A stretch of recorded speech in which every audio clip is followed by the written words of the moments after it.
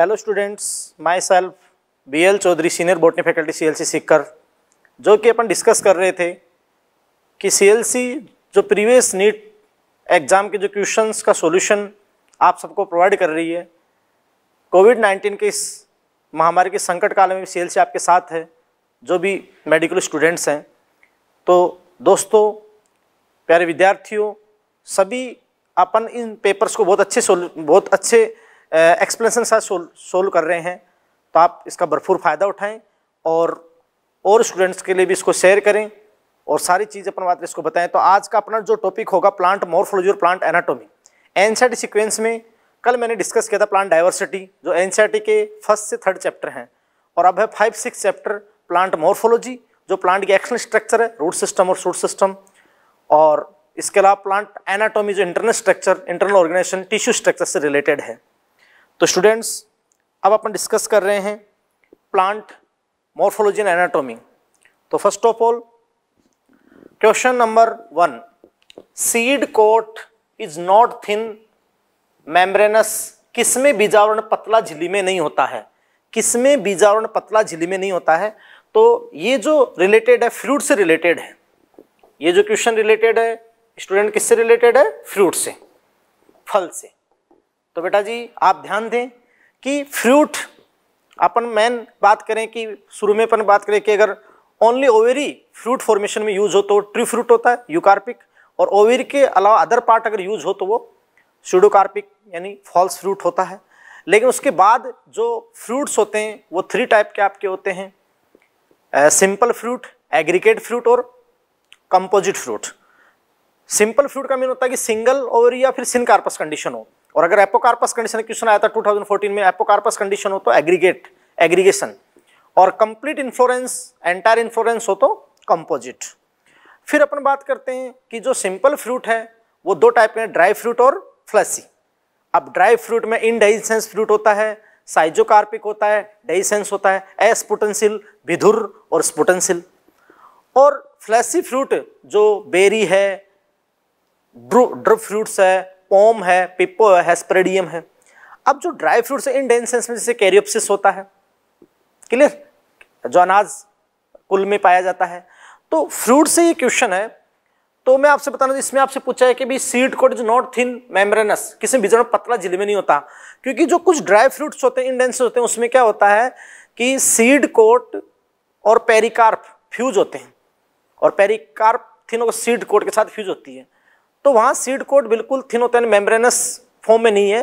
तो यहाँ पर देखो कि जो ग्राउंड नट है ग्राउंड नट मूंगफली, उसमें आपका जो फ्रूट का टाइप है, वो है लोमेंटम इसके अलावा अपन बात करते हैं ग्राम तो ग्राम में आपका है लेग्यूम पोड लेग्यूम पोड तो ये भी ड्राई फ्रूट का टाइप है बट साइजोकार्पिक है। ये भी ड्राई फ्रूट का टाइप है लेग्यूम पोड बट डेसेंस है। और मेज, आप जानते हो कि जो अनाज होते हैं वीट है मेज है, ये भी ड्राई फ्रूट का टाइप है कैरियोप्सिस और ये इनडाइसेंस है. और इसमें तो आप जानते हो कि बिल्कुल मक्का का दाना, चावल का दाना ग्रेन जो होता है वो फ्रूट है. इसका भी अच्छा मेज ग्रेन फ्रूट है. क्योंकि उसमें सीड कोट और पेरिका बिल्कुल अपन अलग नहीं कर सकते सेपरेट नहीं कर सकते हैं. तो मेम्ब्रेनस नहीं हो सकता है. क्लियर फ्लैसी और मेम्ब्रेनस नहीं हो सकता है. अब जो कोकोनट है, वो सिंपल फ्रूट का टाइप ही है. कोकोनट। और सिंपल फ्रूट में ये फ्लैसी फ्रूट है फ्लैसी, सिंपल फ्रूट में, बेटा जी ये फ्लैसी फ्रूट है, और फ्लैसी फ्रूट में जो टाइप है, वो ड्रुप फ्रूट है ये, मैंगो और कोकोनट। तो मैंगो और जैसे मैंगो के अंदर आप जानते हो, एपिकार्प, उसकी स्किन होती है, फिर मीजोकार्प, जो आप जानते हो कि फ्लैसी मिजोकार्प होती है जो एडिबल है मैंगो में, और फिर एंडोकार्प उसमें स्टोनी होती है ड्रू फ्रूट में एंडोकार्प नारियल में भी। नारियल में आप जानते हैं जो कोयर है, जटा है, वो मिजोकार्प है, और फिर स्टोनी आपके एंडोकार्प है, फिर एंडोस्पम एडिबल होता है उसके अंदर। क्लियर तो कोकोनट यहाँ पर आपका सिंपल फ्लैसी फ्लैसी फ्रूट और ड्रू फ्रूट है। तो इनमें से आपका answer will be according this answer will be four clear अब अपन चलेंगे अगले नेक्स्ट क्वेश्चन पे। तो नेक्स्ट क्वेश्चन है सेकंड क्वेश्चन बहुत इंपॉर्टेंट क्वेश्चन है और इसमें आपको, अपन कहते हैं मोर्फोलॉजी में आप कंफ्यूज हो जाते हो कि इतने एग्ज़ाम्पल सर याद नहीं होते हैं या फिर कंफ्यूज भूल जाते हैं। तो थोड़ी सी ट्रिक्स यूज़ करनी पड़ेगी। थोड़ा सा अच्छा चलना पड़ेगा, आपको ट्रिक के साथ क्वेश्चन को सोल्व करना पड़ेगा। जो मैं इस क्वेश्चन में देखो, आपको सिखाता हूँ। क्वेश्चन नंबर सेकेंड है among bitter gourd mustard brinjal pumpkin China rose lupin cucumber sunhemp gram guava bean chilli plum petunia tomato rose Withania potato onion aloe and tulip how many plant have hypogynous flower hypogynous flower मतलब अधो जाएँगी पुष्प कितनों में है? अधो जाएँगी hypogynous hypogynous condition क्या होता है? कि थैलेमस की टॉप पोजीशन पे ओवरी होगी। Ovary lies at top position of thalamus and all flower other flower are below then ovary तो वो सारे बिलो होंगे इन्फीरियर और ovary is superior hypogynous condition में। अब ऐसे जब बहुत सारे एग्ज़ाम्पल आ जाएँ तो आप क्वेश्चन को कैसे सोल्व करें?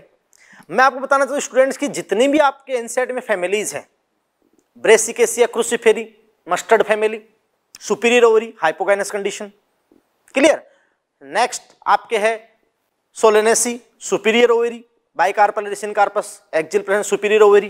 Clear आप बात करें लिलियसी ट्राइकार्पलरी सुपीरियर ओवरी। आप बात करें जो फाबेसी फैमिली है, सुपीरियर ओवरी। आप बात करें चाइना रोज की, जो मालवेसी फैमिली है, सुपीरियर ओवरी। तो ऑलमोस्ट जितनी फैमिली आप पढ़ते हो, सुपीरियर हैं। और ऑलमोस्ट एग्ज़ाम्पल हाइपोगाइनस फ्लोर है और सुपीरियर ओवरी है। क्लियर अब, सुपीरियर ओवरी में क्या होता है, कैसे, कौन सैप ये थैलेमस की पोजिशन होती है, कौन सैप और उसकी टॉप पोजीशन पे, टॉप पोजीशन पे यहाँ पे ओवेरिलाइज होती है, ये टॉप पोजीशन पे ओवेरिलाइज है। और other floral whorl inferior condition में तो all floral whorl in inferior and ovary is superior, ovary superior. और अपन जब फ्लोरल फॉर्म में इसको रिप्रेजेंट करेंगे तो इस फॉर्म में अपन रिप्रेजेंट करेंगे। क्लियर? अब जो बहुत कुछ होता है मतलब ऑलमोस्ट होता है, उसको आप याद ही मत करो। जो बहुत कम होता है अब तीन टाइप के होते हैं। ये आपकी कंडीशन है हाइपोगाइनस कौन सी कंडीशन है?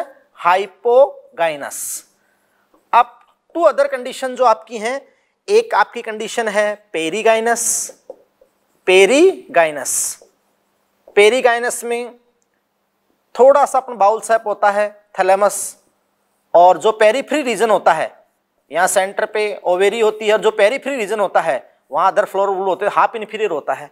तो पेरीगाइनस के एग्ज़ाम्पल क्या है? पेरीगाइनस के एग्ज़ाम्पल आप याद कर लें। इसकी ट्रिक है पी पी आर ट्रिक क्या है?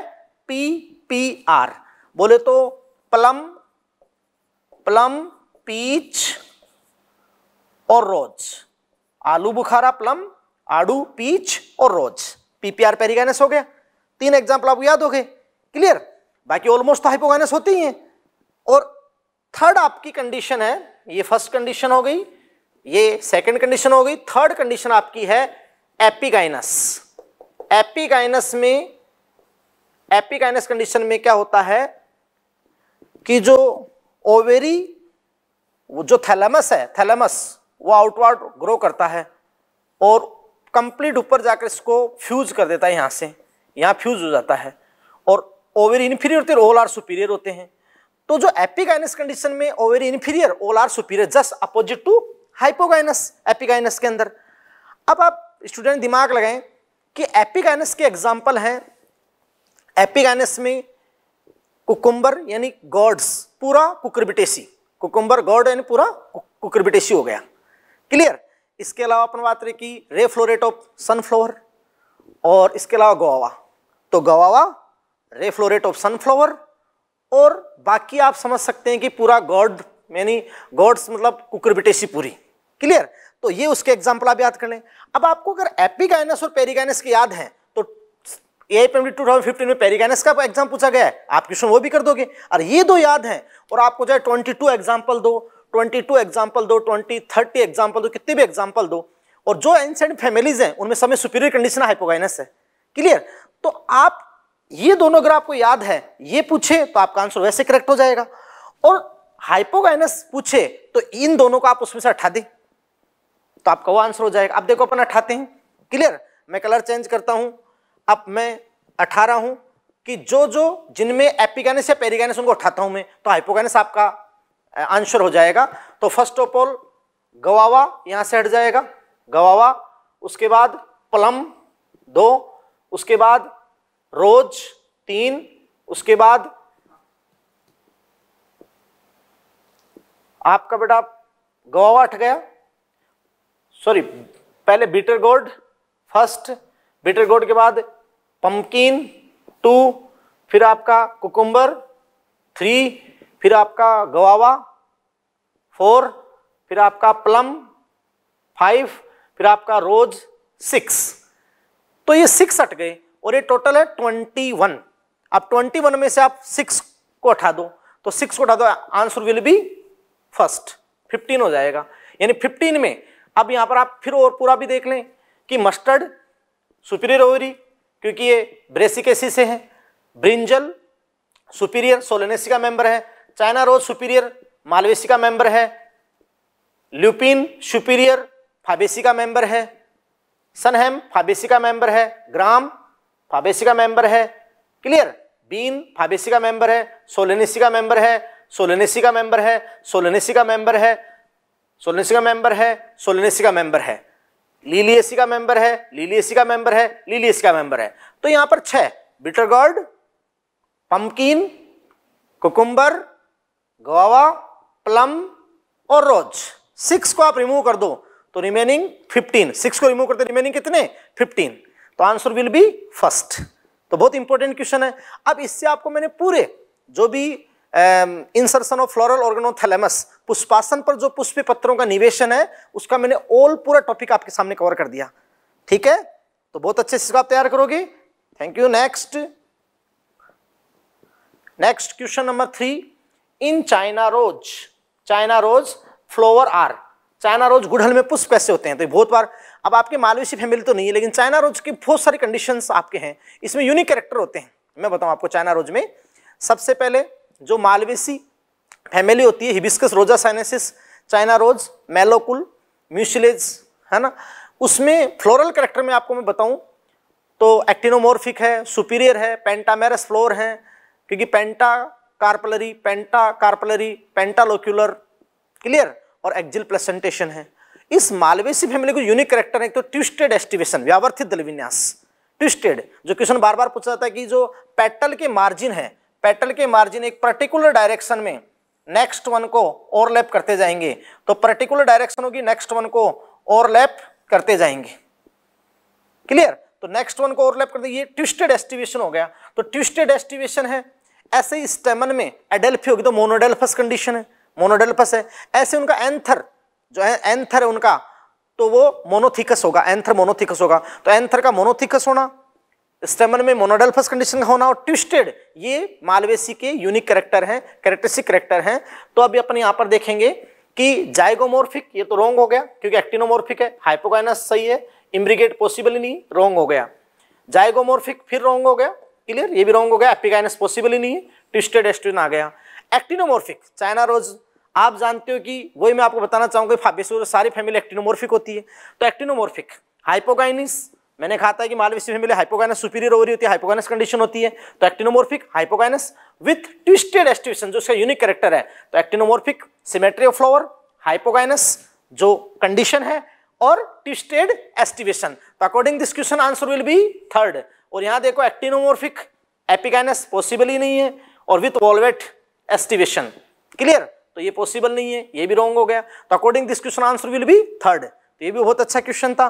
ठीक है student then next question number four placenta and pericarp are both edible portion बीजांडासन और फलबीती दोनों खाने योग्य भाग किसमें बहुत अच्छा क्वेश्चन है.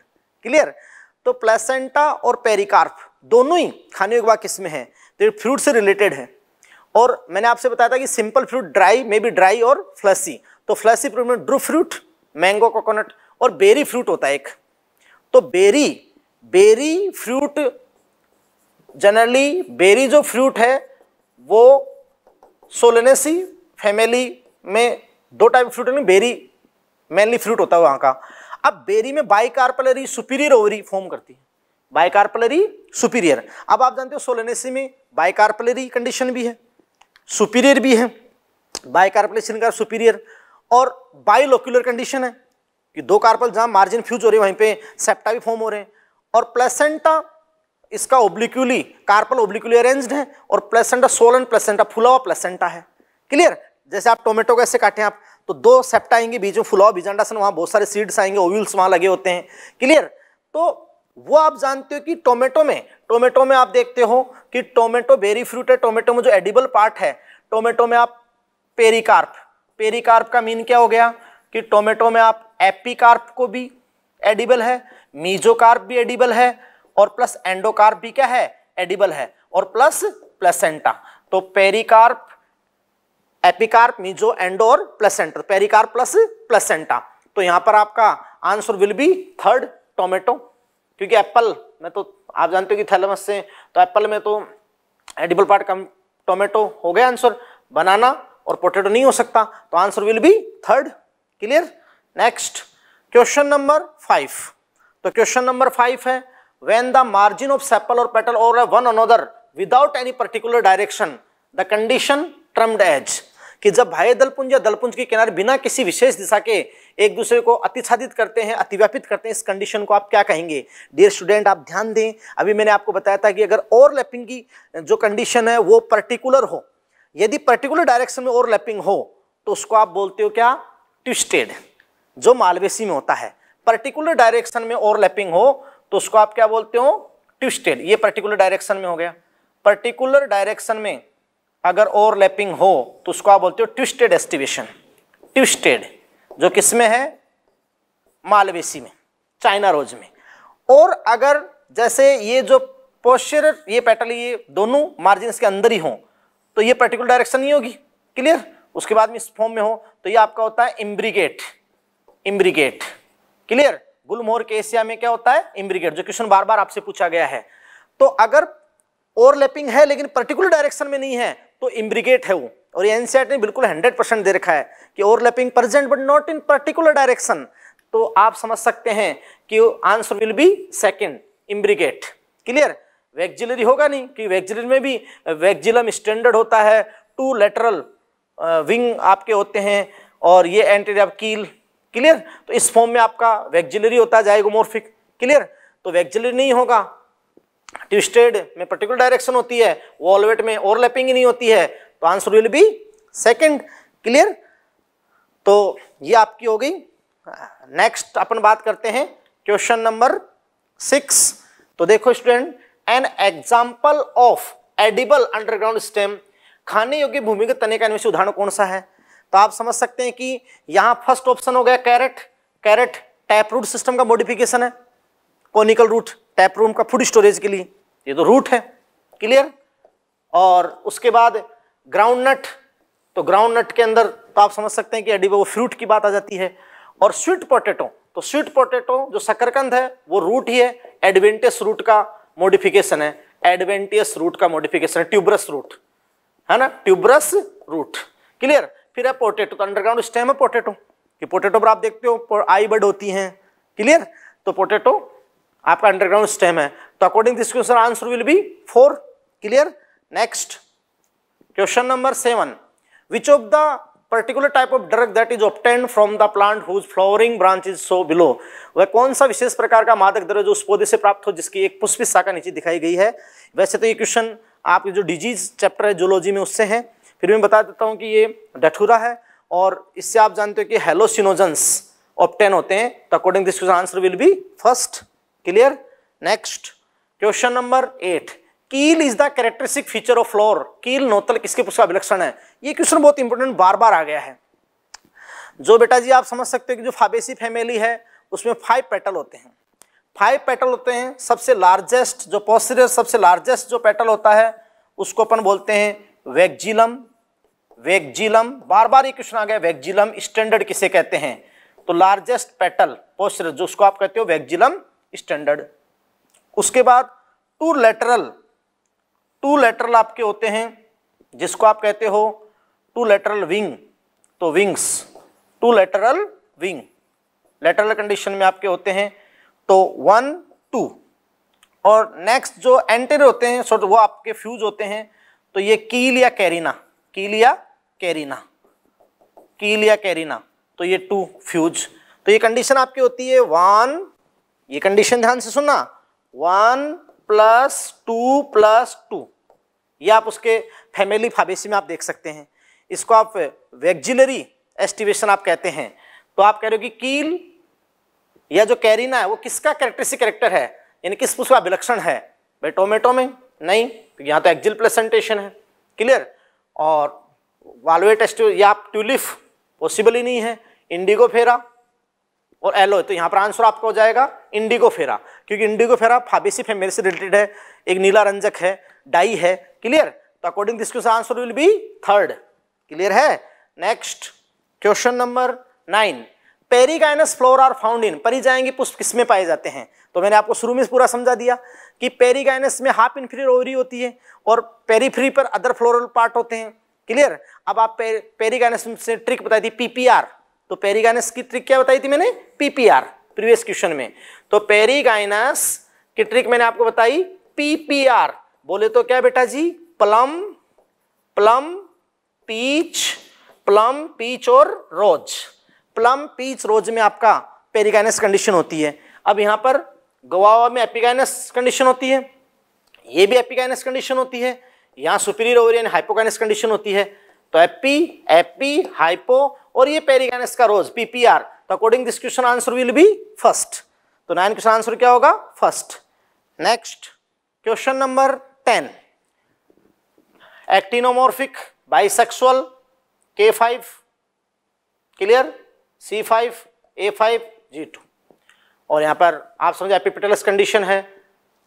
सेपल फाइव और gamosepalous petal five gamopetalous stamen five polyandrous bicarpellary syncarpous superior ovary is the floral formula of ये किसका फ्लोरल फॉर्मूला है? किसका सूत्र है? तो स्टूडेंट्स आप ध्यान दें, ये किसका फ्लोरल फॉर्मूला है? यहाँ पर आप देखना चाहोगे कि एक्टिनोमोर्फिक बाइसेक्सुअल लेकिन पेंटामेरस और एपिपेटलस कंडीशन भी बाइकार्पलर सिनकार्पस तो ये सोलेनेसी फैमिली का फॉर्मूला है सोलेनेसी फैमिली का। और सोलेनेसी फैमिली में कंडीशंस है, क्योंकि ये तो टेट्रामेरस था ब्रेसिका तो। सी फोर एक्स कंडीशन होती है। ये सेस बेनिया अभी मैंने आपको बताया था, जिसमें वेक्जली आपका होता है, ये लीलियसी फैमिली में ट्राइमेरस कंडीशन होती है। ये पिटूनिया ये सोलेनेसी फैमिली का एग्ज़ाम्पल है। तो according this question answer will be four four answer होगा पिटोनिया और पिटोनिया सोलेनेसी फैमिली का है और ये जो फ्लोरल फॉर्मूला है सोलनेसी का इजीली आप निकाल सकते हो। सोलनेसी पेंटामेरस है। सोलनेसी में बाइकार्पलरी सिनकार्पस बाइलोक्यूलर और आप समझ सकते हैं कि एक्जल एक्जल प्रेजेंटेशन है। क्लियर? तो ये सारे करेक्टर किसके हैं? सोलिनेसी फैमिली के हैं। तो according this answer will be four. Next. Question number eleven. among China rose, mustard, brinjal, potato, guava, cucumber, onion and tulip, how many plant have superior ovary? तो गुड़हल है, सरसों है, बैंगन, आलू, अमरूद, खीरा, प्याज, ट्यूलिप में कितनों में ऊर्धवर्ती अंडा से है? सुपीरियर ओवरी कितनों तो? सुपीरियर तो हाइपोकाइनस कंडीशन होगी। अब वही जो मैंने शुरू में सेकंड क्वेश्चन आपको बताया था फिफ्टीन है आंसर वाला तो वहाँ मैंने बताया था कि पेरीगाइनस को और एपी को उठा दो। तो किसको बता दोगे? हाइपोगाइनस को बता दोगे। अब यहाँ तो बहुत कम एग्ज़ाम्पल है। इजीली बता सकते हो। पेरीगाइनस पेरीगाइनस जो परी जाएँगी कंडीशन होती है क्लियर पेरीगाइनस तो परी जाएँगी में क्या? पी पी आर अभी मैंने आपको बताया plum peach rose epigynous. Epigynous में आप समझ सकते हो कि गॉड्स होते हैं और कोकुम्बर जो हैं, बाकी रेफ्लोरेट और गोवा क्लियर एपीगाइनस। तो अब आप यहाँ पर अठा दो। आपसे पूछा है हाइपोगाइनस सुपीरियर ओवरी पूछी हाइपोगाइनस कंडीशन में सुपीरियर ओवरी होती है। क्लियर तो अब आपसे इसमें अठा दो कि hypogynous superior ovary China rose में होगा, क्योंकि मालवेसी है मस्टर्ड इसमें होगा। ब्रेसिकेसी है? बैंगन आलू, सोलेनिस इसमें भी होगा। क्लियर तो वन टू थ्री फोर लेकिन गवावा में नहीं होगा। क्लियर कुकम्बर में नहीं होगा। क्लियर इसमें होगा। तो ये आपका फाइव हो गया। और इसमें आपका होगा तो ये सिक्स हो गया। क्लियर तो इनमें एपिगाइनस कंडीशन है, अमरूद खीरा के अंदर। क्लियर गौ और कोकुम्बर में। और बाकी आपके होंगे। तो according this question answer will be four यानी सिक्स। तो सिक्स में क्या है? हाइपोगाइनस सुपीरियर ओवरी कंडीशन है। तो answer will be four clear six example आपके होंगे। नेक्स्ट क्वेश्चन नंबर ट्वेल्व है। फ्लोवर आर यूनिसेक्सुअल किसमें पुष्प एक लिंगी होते हैं? तो देखो फ्लोवर मे बी बाइसेक्सुअल और यूनिसेक्सुअल अगर androecium gynoecium A and G androecium gynoecium both are present in a with in a flower तो बाइसेक्सुअल अब इनमें से कोई एक भी है ए है बट जी नहीं तो स्टेमिनेट फ्लोर है, और जी है बट ए नहीं है तो पिस्टिलेट फ्लावर है। क्लियर अब तब यूनिसेक्सुअल फ्लोर है। अब अपन कहते हैं यूनिसेक्सुअल फ्लावर किसमें होता है? भाई मेज में होता है यूनिसेक्सुअल लेकिन दोनों टाइप के यूनिसेक्सुअल सेम प्लांट पे होते हैं तो मोनोसियस प्लांट होता है, और पपाया में आपका होता है, वहाँ डाइसियस प्लांट होता है। क्लियर तो यहाँ चाइना रोज में बाइसेक्सुअल फ्लोवर है। क्लियर और आप जितनी फैमिली पढ़ते हैं मस्टर्ड ब्रेसिकेसी बाइसेक्सुअल फ्लोवर है। मालवेसी बाइसेक्सुअल है। लीलियसी बाइसेक्सुअल है। फाबेसी बाइसेक्सुअल है। सोलनेसी बाइसेक्सुअल है। तो यहाँ मालवेसी फैमिली बाइसेक्सुअल है। क्लियर लीलियसी फैमिली बाइसेक्सुअल है। क्लियर और ये पी फाबेसी फैमिली बाइसेक्सुअल है। लेकिन जो मेज यानी मक्का मेज और जो कुकुम्बर है, यहाँ पर क्या है? यूनिसेक्सुअल फ्लोर है। तो मेज कुकुम्बर में क्या होता है? Unisex unisexual according this question answer will be four clear next question number thirteen root play in significant role in absorption of water in किसमें जड़े जल अवशोषण में नगण्य कार्य करती है? तो भाई, मटर होता है, उसमें तो अच्छे से काम करती है टैप रूट सिस्टम होता है, और वीट में फाइब्रस है, वैसे ही। मोनोकोट है क्रोप्स है तो वैसे ही वाटर की रिक्वायरमेंट होती है, और सनफ्लोर में भी होता है तो पी में भी है लेकिन यहाँ पिस्टिया, आइकोर्निया जो पिस्टिया है, ये जो पिस्टिया है, ये एक्वेटिक प्लांट है। अब आप समझ सकते हैं कि एक्वेटिक प्लांट में, एक्वेटिक प्लांट में, एक्वेटिक प्लांट में, आप जानते हो पूरा प्लांट बॉडी ही वाटर एब्जॉर्ब कर लेता है तो रूट उतनी डेवलप नहीं होती आइकोर्निया और पिस्टिया में। क्लियर स्टूडेंट तो according this question answer will be four clear next question number fourteen axile placentation present in स्तंभीय अक्षी बीजान्यास किसमें होता है? बहुत इंपॉर्टेंट क्वेश्चन मैं आपको ये ट्रिक यहाँ पर भी बताऊँगा कि ब्रेसी के सी फैमिली में पैराइटल प्रेजेंटेशन होता है। अगर अपन बात करें फाबेसी में वैक्जिलरी प्रेजेंटेशन होता है। लेकिन अपन सबसे सॉरी फाबेसी में मार्जिनल प्रेजेंटेशन होता है। मैं आप सबसे तीन फैमिली बताता हूँ। Solanaceae bicarpellary bilocular syncarpous superior ovary tricarpellary trilocular syncarpous superior ovary Liliaceae pentacarpellary pentalocular superior ovary China rose Malvaceae और अन्य उस वो लेमन में रिन में भी आपका होता है एक्जिल प्रेजेंटेशन क्लियर क्या होता है एक्जिल प्रेजेंट कार्पल के जो मार्जिन है, जहाँ टच करते हैं, वहाँ से एक सेप्टा कार्पल के जो मार्जिन है, जहाँ टच करते हैं, वहाँ से एक सेप्टा सेंटर की ओर. ग्रो करता है।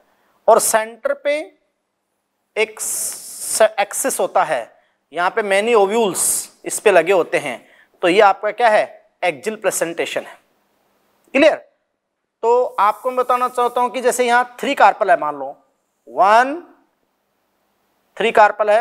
वन टू और क्या? थ्री थ्री कार्पल मार्जिन जहाँ टच करें, वहाँ से सेप्टा आएगा। ये सेप्टा हो गया। और ये सेप्टा होगा यहाँ सेंट्रल एक्सिस होगा और इस पे ओयूल्स होंगे। तो जितने carpel number of carpel equal to number of septa tricarpellary trilocular और एक्जिल तो ये आपका होता है एक्जिल प्रेजेंटेशन एक्जाइल प्रेजेंटेशन और आप जानते हो कि टोमेटो को आप कट करो तो टू सेप्टा आएँगे तो बाई कार्पलरी बाइलोक्यूलर और वो ओब्लिकुलर अरेंज होंगे कार्पल और सोलन प्लेसेंटा होगा सोलनेसी का सबसे इंपॉर्टेंट करेक्टर है। और ये आपका tricarpellary trilocular Liliaceae family में होगा पेंटा कार्पली पेंटालोक्यूलर किसमें आपका होगा? मालवेसी फैमिली में होगा। क्लियर तो आप समझ इनमें से किसमें होगा? पी में मार्जिनल प्रेजेंटेशन है। क्लियर आर्जिमोन या मस्टर्ड में पैराइटल प्रेजेंटेशन है। डायंतस में फ्री सेंट्रल प्रेजेंटेशन है। लेकिन जो लेमन है लेमन में आपका क्या है? मैंने बताया सिट्रस लेमन में आपका एक्जिल प्रेजेंटेशन है। आप नींबू को आप कट करेंगे तो सेप्टा आएँगे और सेंटर पे वहाँ पे आपके सीड एंड ओव्यूल थे। तो आप समझ रहे हैं कि लेमन यहाँ पर आंसर होगा। तो according this answer will be four clear next question number sixteen stem modified into flat green organ performing the function of leaves are known as बहुत अच्छा क्वेश्चन है। स्टेम के मॉडिफिकेशन दो तीन मॉडिफिकेशन वहाँ से हंड्रेड परसेंट क्वेश्चन आता है। आप देखते हो कि फिल्लोक्लेड फिल्लोक्लेड आपका होता है प्रणाब स्तंभ। फिल्लोक्लेड, प्रणाब स्तंभ। प्रणाब स्तंभ में क्या होता है कि कंप्लीट संपूर्ण तना फ्लैट और ग्रीन हो जाता है और इनसाइड म्यूसिलेज स्टोर होता है फ्लैट एंड ग्रीन और अनलिमिटेड ग्रोइंग उसमें ब्रांच होती है। आगे से आगे ग्रो करती जाती है। आप ओपनसिया में देखते हो, कक्टस में देखते हो और लीफ वहाँ स्पाइन में मॉडिफाई हो जाती है। तो ये फ्लैट ग्रीन बता दिया ना flat green organ perform function of leaves leaves का फ़ंक्शन मैंने क्या है? फोटोसिंथेसिस और यहाँ इस फ़ंक्शन को कौन फॉर्म कर रहा है? स्टेम फ्लैट ग्रीन स्टेम तो वो स्टेम का मॉडिफिकेशन है। फिल्लोक्लेड प्रणाब, स्तंभ. इसके अलावा क्लेडोड होता है। तो क्लेडोड में तो लिमिटेड और वन या टू जो इंटरनोड होती है, वही इसमें होती है क्लेडोड में तो एस्परगस में. तो यहाँ पर फिल्लोड ऑस्ट्रेलिया केस है तो लीफ का मॉडिफिकेशन है? फिल्लोक्लेड ये फ्लैट ग्रीन स्टेम है। जो फ्लैट ग्रीन ऑर्गन है, जो लीव्स की तरह फ़ंक्शन करेगा तो ये आपका फिल्लोक्लेड क्लियर प्रणाब स्तंभ, जो पंसिया में, नागफनी में है, और स्केल क्लेडोड तो यहाँ पर आंसर विल बी सेकेंड तो बहुत इंपॉर्टेंट क्वेश्चन है clear next question number 17 the standard petal of a papilionaceous corolla is also called अभी मैंने आपको बताया था पेप्लिनेसिस बोल दो, चाहे उसको वेक्जिलरी बोल दो। तो उसमें जो आप कहते हो कि जो स्टैंडर्ड स्टैंडर्ड जो सबसे लार्जेस्ट पेटल होता है पोस्टर पेटल होता है, फिर टू लेटरल होते हैं और टू एंटेरियर आपके इस फॉर्म में आपके होते हैं। तो इसको आप कहते हो वेक्जिलम वेक्जिलम या स्टैंडर्ड वेक्जिलम या स्टैंडर्ड ये क्वेश्चन बार बार रिपीट हो रहा है। तो इस एस्टिवेशन को और इसमें कंडीशन वन टू और टू आपके ये इस फॉर्म में। तो ये आप फाबेसी फैमिली का बहुत अच्छे से याद कर लें। ये क्वेश्चन बार बार रिपीट हो रहा है। तो पेपलिनस वाले दल, मानक दल को आप अन्य किस नाम से जानते हैं? वैक्जिलम क्लियर तो पेपस तो सनफ्लोर में होता है। कैरिना, कोई मतलब ही नहीं है वैक्जिलम तो according this answer will be second yes और नो क्लियर है? और बहुत इंपॉर्टेंट क्वेश्चन है स्टूडेंट ध्यान दे इसके ऊपर। Next question number 18 tricarpellary syncarpous gynoecium is found in flower of बहुत इंपॉर्टेंट क्वेश्चन आप जानते हो कि मोस्ट ऑफ़ मोनो डाइकोट्स में पेंटामेरस कंडीशन होती है। एक ब्रेसिकेसी में टेट्रामेरस है। और मोनोकोट्स में ट्राइमेरस होती है तो लीलियसी ये मोनोकोट है, पोएसी, ग्रेमिनी। आप समझ सकते हैं कि लीलियस में ट्राई कार्पलरी अभी बताया मैंने tricarpellary trilocular, axile placentation syncarpous yes और नो। तो tricarpellary syncarpous gynoecium कहाँ होगा? तो आपकी फैमिली होगी लीलियसी। तो अकॉर्डिंग देखिए कि सोलेनेसी पेंटाकार्पलरी है और आप जानते हो बाइकार्पलरी है उसके अंदर ओवेरी गाइनोसियम आप जानते हो यहाँ पर मोनोकार्पलरी है यहाँ पे ट्राई कर तो यहाँ पर आपका हो जाएगा ट्राई कार्पल लीलियसी फैमिली। तो according this question answer will be four clear then next next अपन बात करते हैं। तो question number 19 cotyledon of maize grain is called मक्का के दाने के बीज पत्र क्या कहते हैं? आप जानते हो डाइकोट में टू कोटलियोडोन्स होते हैं और मोनोकोट में एक रिड्यूस हो जाता है एपीब्लास्ट और एक सिंगल कोटलिडोन होता है, इसको आप कहते हैं स्कूटलम। तो स्कूटलम बहुत अच्छा क्वेश्चन आता है। तो scutellum answer will be third clear next question number twenty which of the following is not stem modification निम्न में से कौन एक तने का रूपांतरण नहीं है? इनमें स्टेम का मॉडिफिकेशन नहीं है। तो आप समझ सकते हैं कि थॉर्न ऑफ़ सिट्रस सिट्रस और बोगन विलय कांटे तो स्टेम का मॉडिफिकेशन है। टेंड्रिल ऑफ़ कुकुम्बर ये भी स्टेम का मॉडिफिकेशन है। दोनों ही स्टेम होमोलोगस है, दोनों ही स्टेम एक्सिलरी बर्ड के मॉडिफिकेशन है।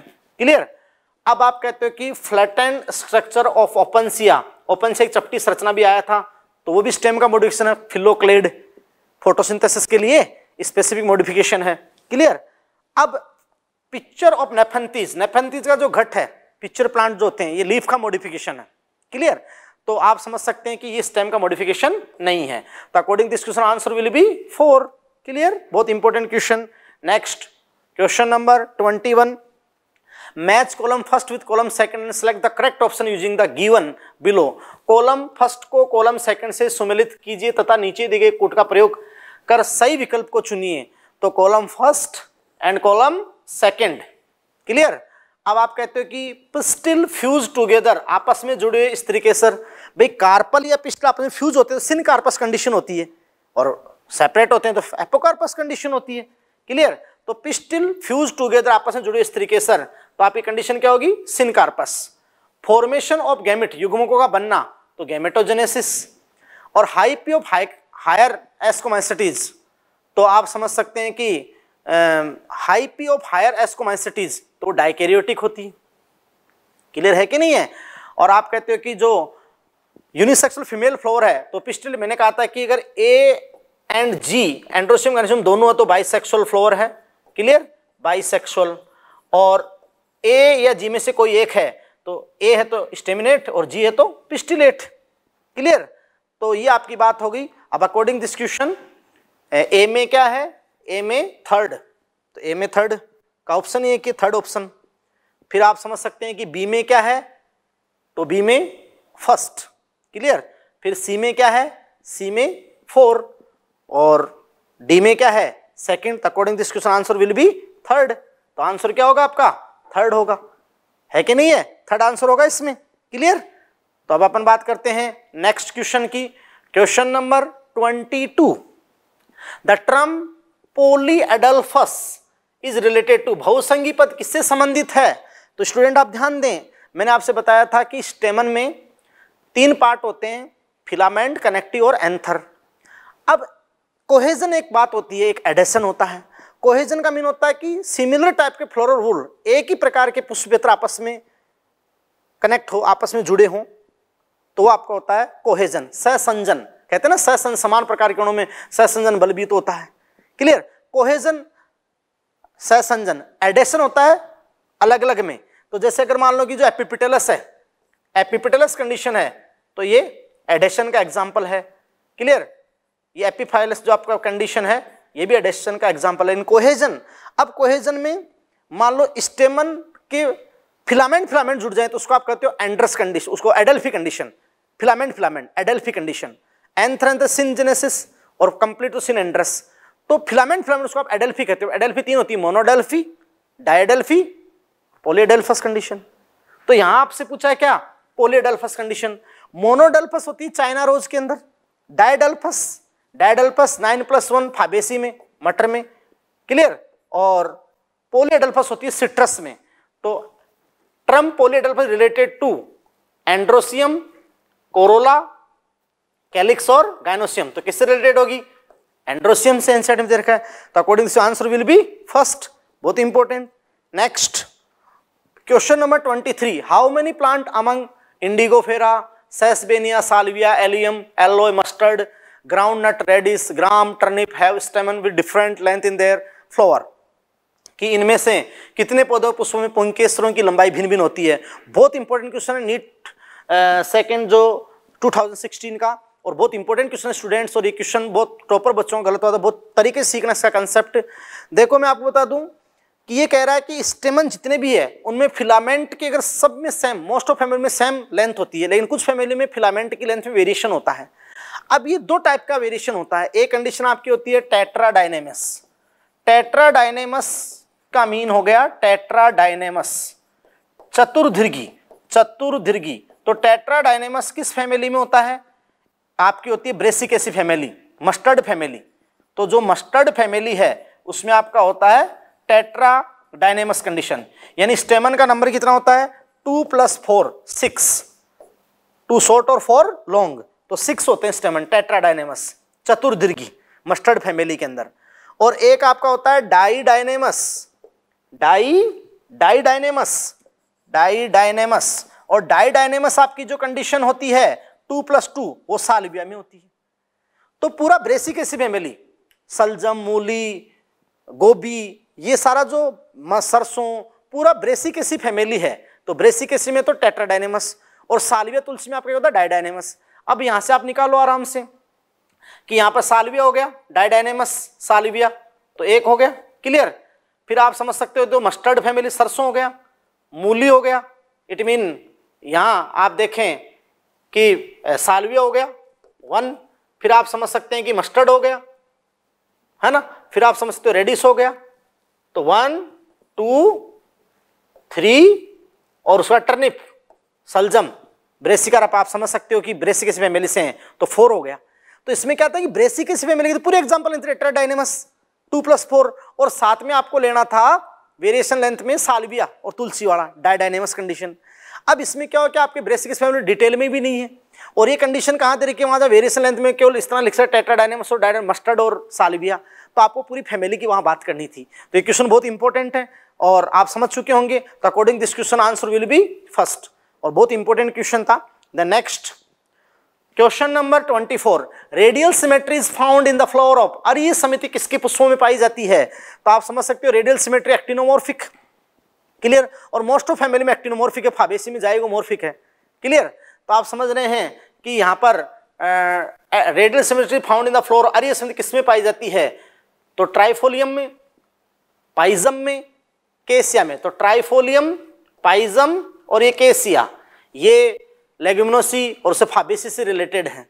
तो फिर ब्रेसी का तो according this question answer will be four clear next question number twenty five free central placentation is found in मुक्त तक्षी बीजान्यास किसमें पाया जाता है? तो आप समझ सकते हैं कि इसमें तो पैराइटल होता है आर्जिमोन और मस्टर्ड में तो पैराइटल होता है। ब्रेसी का वही पैराइटल हो गया। क्लियर सिट्रस अभी आपका पहले क्वेश्चन आ गया एक्जिल हो गया। सिट्रस में, तीन फैमिली, मालवेसी, सोलनेसी, लीलेसी में और सिट्रस में। एक्जिल प्लेसेंटेशन हो गया। डायंतस तो ये बहुत फ्री सेंट्रल एंसेड एग्ज़ाम्पल फ्री सेंट्रल मतलब पहले कार्बन मार्जिन टच करते हैं सेप्टाई बनते हैं, बाद में वो डेस्ट्रो हो जाते हैं और फ्री सेंट्रल जो प्लेसेंटेशन है तो वो आपका होता है किसमें? डायंतस में प्रिमरोज में। क्लियर तो डायंतस में होता है according to answer will be four clear next question number twenty six in Bougainvillea thorn are the modification of Bougainvillea में कांटे किसका रूपांतरण है? क्लियर तो आप समझ सकते हैं कि बोगनविलिया कुकरबिटा के प्रधान बोगनविलिया कांटे होमोलोगस हैं। तो स्टेम के मॉडिफिकेशन है एक्सिलरी बड से फॉर्म होते हैं। तो किसके मॉडिफिकेशन हुए? एडवेंटेज रूट गलत हो जाएगा। स्टेम करेक्ट है लीफ गलत हो जाएगा स्टिफ्यूल गलत हो जाएगा। According this question answer will be second clear next question number twenty seven plant which produce characteristic pneumatophores and so vivipary belong to बहुत इंपॉर्टेंट क्वेश्चन है स्टूडेंट ये बहुत ही अच्छा क्वेश्चन है। तो पादप जो मतलब plant plant which produce characteristic pneumatophore and so vivipary कि जिनमें श्वसन मूल्य पाई जाती है न्यूमेटोफोर पाई जाती है। रेस्पिरेशन के लिए रूट मतलब अपवार्ड ग्रो करके पॉजिटिव वो नेगेटिव जियोट्रोफिक ग्रोथ करके बाहर आ जाती है न्यूमेट बियर करती है। तो न्यूमेटोफोर होता है, आप समझ सकते हैं। राइजोफोरा में, सोरेंसिया में आप समझ सकते हैं न्यूमेटोफोर्स आती है में आप जानते हैं, और आपसे सबसे इंपॉर्टेंट लाइन दी है कि वीवी पेरी वो शो करते हैं। तो ये मैंग्रोव वेजिटेशन है, और मैंग्रोव वेजिटेशन आप समझ सकते हैं कि जो हाँ साल्टी मार्सी रीजन है तो आप समझ सकते हैं कि ये प्लांट क्या करते हैं बेटा जी, अगर डायरेक्ट सीड मार्स में, दलदल में गिर जाएगा मार्स रीजन में गिर जाएगा तो वहाँ ऑक्सीजन नहीं होगी और सीड जर्मिनेट नहीं होगा। तो ये प्लांट क्या करते हैं फ्रूट के इनसाइड ही फ्रूट के इनसाइड ही सीड को जर्मिनेट करते हैं न्यू सीडलिंग नया पादपक बन जाता है। फिर वो न्यू सीडलिंग जो पादपक है, न्यू सीडलिंग जो नवोद्भित पौधा है, वो स्थापित होता है दलदल के अंदर। तो इसको अपन बोलते हैं वीवी पेरी। ये स्पेशल कैरेक्टर है। तो ये बिल्कुल लवणीय दलदल में, यानी मार्सी सेलाइन मार्सी रीजन में पाए जाते हैं। तो आप समझ सकते हैं कि ये हेलोफाइट्स हो गए। क्या हो गए? हेलोफाइट्स। बहुत इंपॉर्टेंट क्वेश्चन था। तो ये जो राइजोफोरा है सोरेंसिया जो भी न्यूमेटोफोर यानी रेस्पिरेशन के लिए रूट का मॉडिफिकेशन शो करते हैं, वो हेलोफाइट्स होते हैं वो वीवीपेरी भी शो करते हैं। और ये इसमें सबसे इंपॉर्टेंट थी वीवीपेरी वीवीपेरी मैंने आपको बता दी कि डायरेक्ट सीड नहीं डालेंगे नीचे। अगर सीड डालेंगे तो जर्मिनेट ही नहीं होगा। क्लियर तो ये न्यू सीडलिंग को रिमूव करते हैं। फ्रूट में ही सीड जर्मिनेट हो जाता है न्यू सीडलिंग तो छोटा सा पादपक बनने के बाद वहाँ स्थापित होता है। क्लियर तो student according this answer will be first बाकी बालुकोद्भिद, यानी सेमोफाइट्स मीजोफाइट्स और ये नहीं होगा। क्लियर बहुत अच्छा क्वेश्चन है। Next question number twenty eight coconut fruit is नारियल का फल किस प्रकार का है? मैं आप बता चुका हूँ मैंगो और कोकोनट क्या है? ड्रू फ्रूट्स हैं सिंपल फ्रूट हैं और ड्रू फ्रूट्स हैं। तो बेरी नहीं है क्लियर नट नहीं है और कैप्सूल नहीं है। तो क्या है? ड्रू फ्रूट्स हैं। तो according this question answer will be four yes next question number twenty nine root hair develop from the region of मूल रोम किस क्षेत्र से विकसित होते हैं? तो आपको मैं बताना चाहता हूँ कि जो रीजन ऑफ़ रूट होते हैं रूट के तीन रीजन है थ्री रीजन्स आपके हैं। सबसे पहले डिवाइडिंग सेल्स की कुछ डिवाइडिंग सेल्स का रीजन है मेरस्मेटिक रीजन है, जो हाईली मेटाबॉलिक एक्टिव होता है डेंस प्रोटोप्लाज्म फिर आप जानते हो इलोंगेशन जोन है क्लियर और उसके बाद में आपका क्या है? जो डिफरेंशियल सेल का मैचुरेशन जोन है। तो मैचुरेशन जोन वहाँ पर E T S G T S V T S है तो वहीं से आपके root hair differentiate I mean root hairs आपके हैं तो रूट हेयर जोन हो गया। तो meristematic zone elongation zone maturation zone और ये रूट हेयर जोन क्लियर तो मेचुरेशन पार्ट से रूट हेयर आपके वहाँ पर जो epidermal appendage epidermal outer growth है तो आप समझ सकते हैं coding discussion elongation root cap meristematic ये प्रोटेक्शन रूट कैप होता है तो आपका हो जाएगा मैच्यूरेशन और आप भी समझ सकते हैं कि जो मेरसमेटिक सेल है, वो सिंगल मेरसमेटिक से जो टू डॉटर सेल फॉर्म होती है। मेरसमेटिक सेल से जो टू डॉटर सेल्स होती हैं, उनमें से वन इज़ कंटिन्यू डिवाइडिंग ये तो कंटिन्यू डिवाइडिंग करेगी न्यू सेल ऐड करती जाएगी। और वन इलोंगेशन में जाएगी स्ट्रक्चरल फंक्शनल चेंजेज होंगे, और फिर डिफ्रेंशिएट होकर मैच्योर सेल हो जाएगी तो डिफ्रेंशिएट होकर ये मैच्योर सेल होती है, और वहीं से आपके, आप समझ सकते हैं जब मैच्योर डिफ्रेंशिएट होकर परमानेंट सेल बन जाती है तो ETS GTS VTS epidermal tissue system ground tissue और वेस्कुलर टिश्यू तो एपिडर्मल सिस्टम की अपेंडीज ये क्या? रूट हेयर तो यहाँ मैच्योरेशन जोन आपका आंसर होगा, answer will be four clear बहुत इंपॉर्टेंट क्वेश्चन है।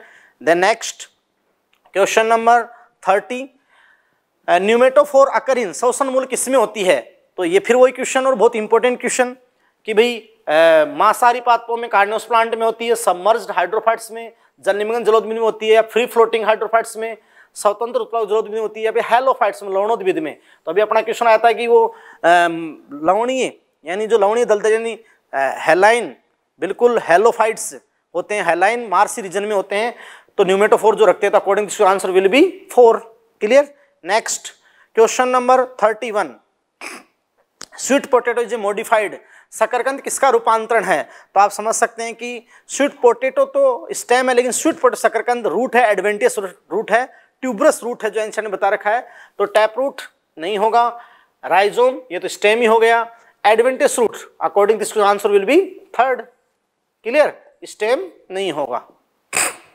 तो स्टूडेंट आप जानते हैं ट्यूबरस रूट है स्वीट पोटेटो शकरकंद है आइपोमिया बटाटा है तो according answer will be third clear next question number thirty two persistent nucellus is the seed is known as आप समझ सकते हैं कि जो न्यूसलस होता है, उसी से एमएमसी डेवलप होती है, फिर एमएमसी मेगास्पोर जो मेगास्पोर फिर मेगास्पोर से फीमेल गेमेटोफाइट जो एम्ब्रियोसेक फॉर्म होता है। क्लियर तो फिर बाद में न्यूसलस ऑलमोस्ट यूज़ हो जाता है कंज्यूम हो जाता है। और फिर अपन जो आगे पढ़ते हैं कि जो एंडोस्पर्म अगर कंप्लीटली कंज्यूम हो जाए ड्यूरिंग जायगोड से एम्ब्रियो बनता कंप्लीटली कंज्यूम हो जाए ए, क्या? एंडोस्पर्म तो नॉन एंडोस्पर्म मिक्सिड होते हैं डाइकोट मोस्टली और रिमेन रह जाए एंडोस्पर्म तो एंडोस्पर्मिक होते हैं मोनोकोट लेकिन न्यूसलस अगर रिमेन रह जाए परसिस्टेंट न्यूसलस रिमेन रह जाए तो उसको आप कहते हो पेरिस्पर्मिक जो काली मिर्च और चुकंदर है पेरिस्पर्मिक सीड तो उसको आप कहोगे पेरिस्प्रम है ना? ये पेरेंट स्पोरोफाइटी टू एन है। तो अकॉर्डिंग दिस क्वेश्चन हाइलम नहीं होगा टैगमेन नहीं होगा चैलेजा नहीं होगा, ये तो पार्ट है उसके। और है ना? तो आपका पेरिस्पम हो जाएगा परिभूण पोषी clear according to answer will be four clear next Question number 33. Placentation in which ovule develop on the inner wall of the ovary or in peripheral part. उस बीजांड न्यास को क्या कहा जाता है, जिसमें बीजांड अंडाशय की भीतरी भित्ति या परिधीय भाग में विकसित होते हैं? तो आप समझ सकते हैं कि जहाँ मार्जिन टच करते हैं कार्पल के, और कार्पल के मार्जिन जहाँ टच करते हैं, उनकी इनर वॉल पे, यहीं पे पेरिफेरी रीजन में ऐसे ये पैराइटल प्रेजेंटेशन होता है। ब्रेसिक एसी फैमिली में ये यूनिलोकर होता है इनिशियली बाद में रैपलम स्यूडोसेप्टा रैपलम फॉर्म होने से बाइकार्पलरी कंडीशन हो जाती है।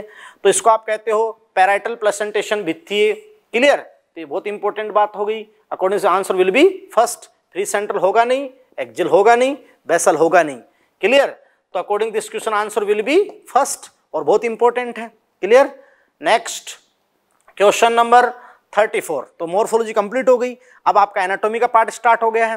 क्लियर तो question number thirty four lenticels are involved in वातरंदर क्या करते हैं? आप जानते हो कि जब जो वुडी प्लांट होते हैं कास्टी पौधे होते हैं, उनमें सेकेंडरी ग्रोथ होती है एक्स्ट्रा स्टिलर जो कोर कैम्बियम फैलोजन से इनसाइड फैलोड्रम और आउटसाइड फैलम आप समझ सकते हैं कि सेकेंडरी कोटेक्स और जो कॉर्क सेल्स होती हैं तो वहाँ कॉम्प्लीमेंट्री सेल से आप जानते हो कि लेंटिकल फॉर्म होते हैं लेंटिकल वातरंद्र होते हैं, जो काष्ट पौधों पर होते हैं, और वातरंद्र का प्राइमरी फ़ंक्शन है गैसियस एक्सचेंज थोड़ा बहुत transfer zero point one percent लेकिन मेन फ़ंक्शन है गैसियस एक्सचेंज ये कभी भी क्वेश्चन आए तो आप समझ पा रहे हैं कि फ़ूड ट्रांसपोर्ट नहीं होगा फोटोसिंथेसिस नहीं होगा ट्रांसपरेशन लेकिन उससे ज़्यादा इंपॉर्टेंट आपका होगा gaseous exchange according to answer will be four clear है?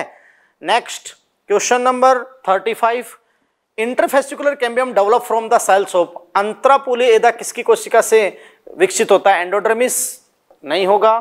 पेरिसाइकिल नहीं होगा. मेडुलरी रेज करेक्ट आंसर है. जाइलम पेरेनकाइमा नहीं होगा. कैसे मेडुलरी से कैसे होगा? मैं आपको समझा देता हूँ कि जो डाइकोड स्टेम है डाइकोड स्टेम तो डाइकोड स्टेम में जो वेस्कुलर बंडल होते हैं कॉन ज्वाइंट कोलेट्रल ओपन क्योंकि आउटर फ्लोएम फ्लोएम और जाइलम सेम रेडियस पे तो कौन जॉइंट आउटर फ्लोएम तो कोलेट्रल और ये बीच में कैमियम तो कौन जॉइंट कोलेट्रल ओपन ये मेटाजाइलम एंडार कंडीशन ये प्रोटोजाइलम ये फ्लोएम अब ये रिंग में अरेंज होते हैं. ये सेम साइज़ के होते हैं और रिंग में अरेंज होते हैं. ये रिंग में अरेंज हो गए. सिमिलर साइज़ के रिंग में अरेंज हो गए. क्लियर रिंग में अरेंज हो गए तो यहाँ आपकी कैम्बियम है, जिसको आप बोलते हो इंट्राफेसिकुलर कैम्बियम इंट्राफेसिकुलर कैम्बियम एकमात्र कैम्बियम जो इंट्राफेसिकुलर कैम्बियम जो प्राइमरी है पीएमटी प्राइमरी मेरस्मेटिक टिश्यू और यहाँ आपकी पिथ है सेंटर को ये पिथ और उसका एक्सटेंशन जो है यहाँ पर मेडुलरी रेज क्लियर ये प्राइमरी स्ट्रक्चर होगी डायकोड स्टेम की। अब आप जानते हो, जब भी सेकेंडरी ग्रोथ होती है तो फ़र्स्ट पॉइंट है डी डिफ्रेंशिएशन तो यहाँ first of all D difference किसमें होगा?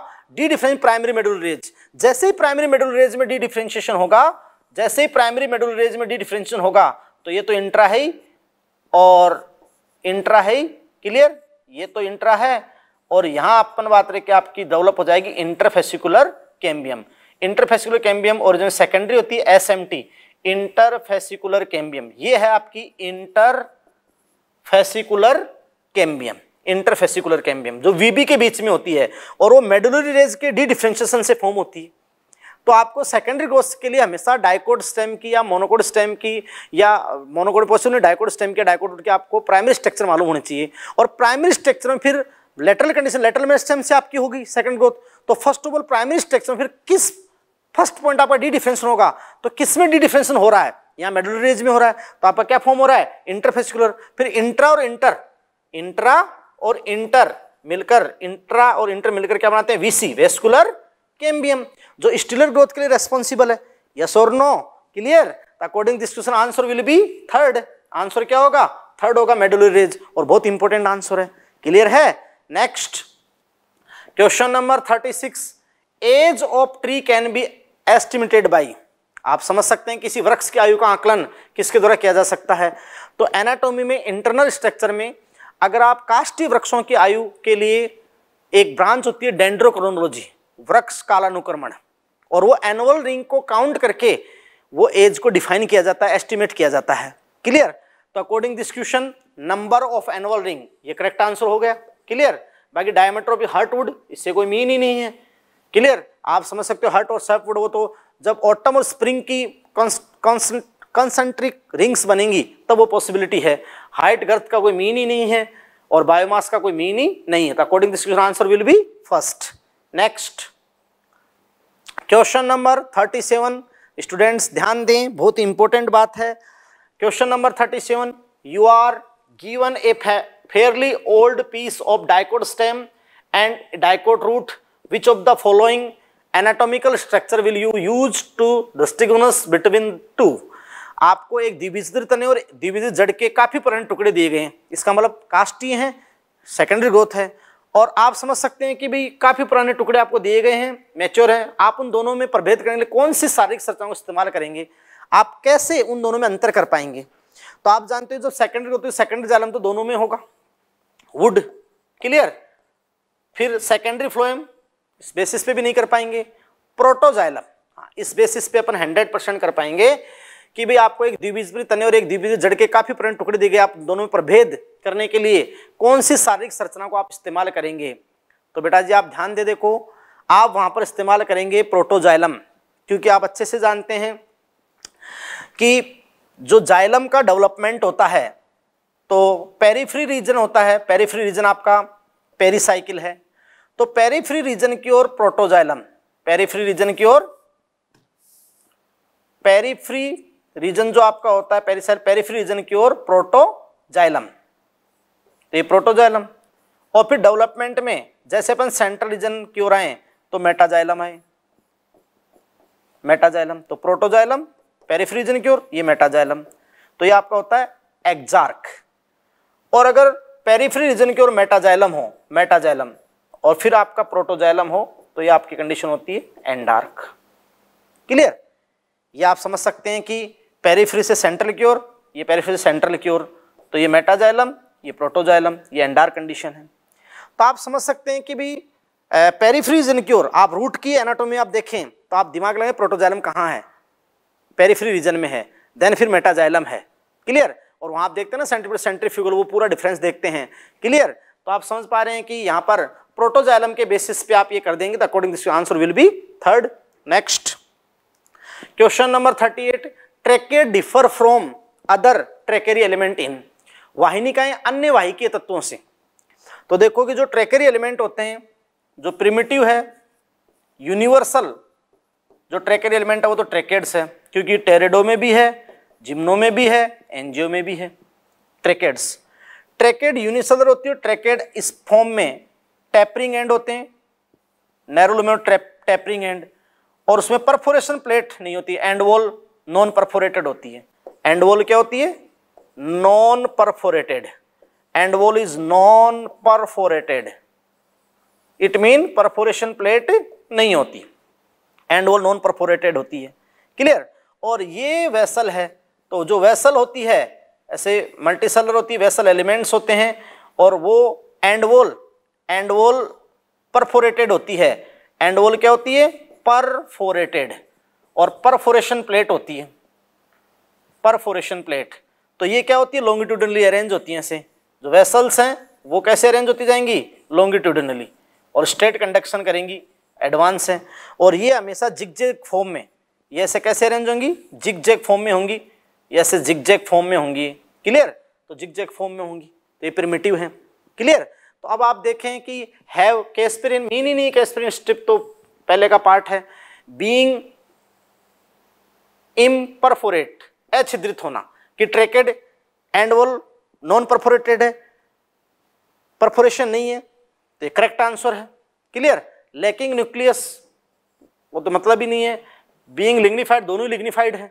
क्लियर और जनरली आप समझ सकते हैं कि दोनों में वो डेड होने पर न्यूक्लियस लैक हो जाता है। लेकिन यहाँ पर आप सबसे इंपॉर्टेंट जो सबसे इंपॉर्टेंट इसका है end wall non perforated end wall tapering non perforated और primitive zigzag conduction end wall perforation plate compound perforation plate और स्ट्रेट कंडक्शन यस और no according this question answer will be second बहुत important clear और ये सबसे बड़ा major difference होता है ट्रैकेड और वेसल में। Clear next question number thirty nine तो स्टूडेंट देखिए vascular bundle in monocotyledons are considered close because कि एक बीज पत्री पादपों में सवन बंडलों को बंद कहा जाता है। क्यों भी कि मोनोकोट में जो वीबी होते हैं, उनको क्लोज क्यों है? क्या आप समझ सकते हो? एक वीबी का टाइप होता है कॉन्जॉइंट तो आप आए, पहले एक रेडियल होता है। रेडियल तो सभी रूट्स में डायकोट मोनोकोट में। अल्टरनेट है ना? जैसे प्रोटोजाइलम मेटाजाइलम फिर फ्लोएम तो xylem, phloem xylem, phloem alternative में रेडियल एक फॉर्म होती है कॉन्जॉइंट ये दोनों साथ साथ लेकिन डिफरेंट रेडियस पे हैं। फ्लोएम, जाइलम क्लियर आप समझ सकते हैं कि फ्लोएम, जाइलम सात बट डिफरेंट रेडियस पे हैं। और कॉन्जॉइंट में क्या होता है? फ्लोएम, जाइलम एक साथ लेकिन सेम रेडियस पे। तो सेम रेडियस पे है ये फ्लोएम और ये जाइलम। अब कौन जॉइंट हो गया। अब आउटर फ्लोएम में तो कोलेट्रल हो गया। और कोलेट्रल में भी ओपन और क्लोज कि जो फ्लोएम और जाइलम है, उनके बीच में यहाँ कैम्बियम रिंग है, यहाँ कैम्बियम रिंग है। कैम्बियम है इंट्राफेसुलर कैम्बियम तो ये क्या हो गया? ओपन और जाइलम फ्लोएम जाइलम फ्लोएम ये फ्लोएम में जाइलम, लेकिन यहाँ कैम्बियम नहीं है, कैम्बियम एबसेंट है। Cambium absent. तो फिर ये क्या हो गया? क्लोज हो गया। तो कौन जॉइंट कोलेटर में be open in dicot stem और may be close in monocot stem और डोरसी वेंट्रल डाइकोट और आइसोबाइलेटर मोनोकोट लीव्स? यस और नो तो क्लियर सी बात है कि भाई vascular bundle in monocot are considered be close कि जो मोनोकोट होते हैं मोनोकोट स्टेम उसमें वेस्कुलर बंडल को क्लोज कंसिडर किया जाता है, बंद प्रकार के होते हैं। तो बंद क्यों होते हैं? Xylem is surrounded all all around phloem, ऐसे तो कंसेंट्रिक हो जाएगा, गलत। और फिर आप समझ रहे हैं कि